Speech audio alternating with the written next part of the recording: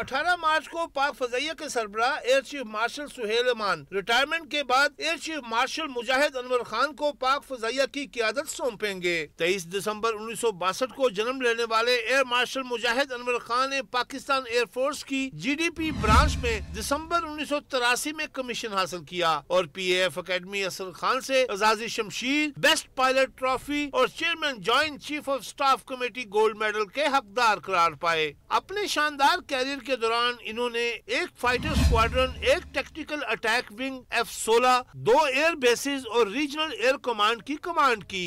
وہ combat commander school, command and staff college, اردن air war college اور national defence university Islamabad سے فارغ التحصیل ہیں۔ Majid Anwar Khan, chief of the air staff کے personal staff officer, assistant chief of the air staff operation deputy chief of the air staff operation اور director general C four I کے طور پر خدمات انجام دے چکے ہیں۔ مجاہد انور خان ان دنوں ایئر ہیڈ کوارٹر اسلام آباد میں بطور deputy chief of the air staff support اور director general air force strategic command خدمات سر انجام دے رہے ہیں۔ انہیں پاک فضائیہ میں شاندار خدمات کے اعتراف میں حلال امتیاز ملٹری، ستارہ امتیاز ملٹری اور تمغہ امتیاز ملٹری کے اعزازات سے نوازا جا چکا ہے۔ Tahir Rathore twenty four news, Islamabad.